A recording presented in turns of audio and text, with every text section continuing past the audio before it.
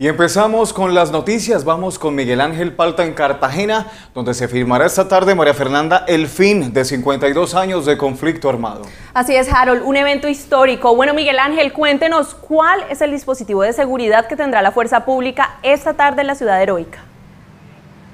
A cuatro horas de los acuerdos entre el gobierno y la guerrilla de las FARC, aquí en Cartagena ya hay presencia de la fuerza pública desde tres o cuatro días anteriores. Hablamos con el ministro de Defensa y hablamos con el comandante de la Policía Metropolitana de Cartagena, quien nos explica en qué consisten las medidas de seguridad para este encuentro, que eh, hemos dicho empieza más o menos en unas cuatro horas aquí en la ciudad heroica. ¿Cómo visualiza usted el Ministerio de Defensa, las Fuerzas Armadas en el posconflicto? ¿Cómo la visualiza usted?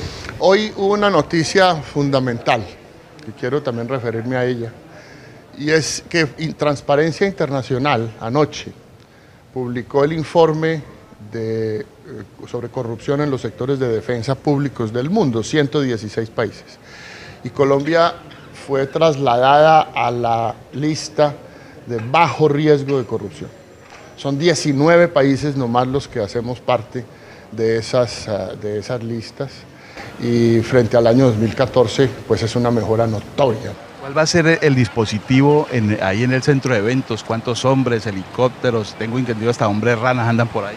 A ver, se tiene un dispositivo muy coordinado con la Armada Nacional. Eh, en cuanto a las especialidades de la Policía Nacional, tenemos concentrados 1.542 hombres y mujeres de todas nuestras especialidades. Específicamente tenemos eh, de investigación criminal, de la Dirección de Protección, que son los esquemas específicos de cada uno de los dignatarios.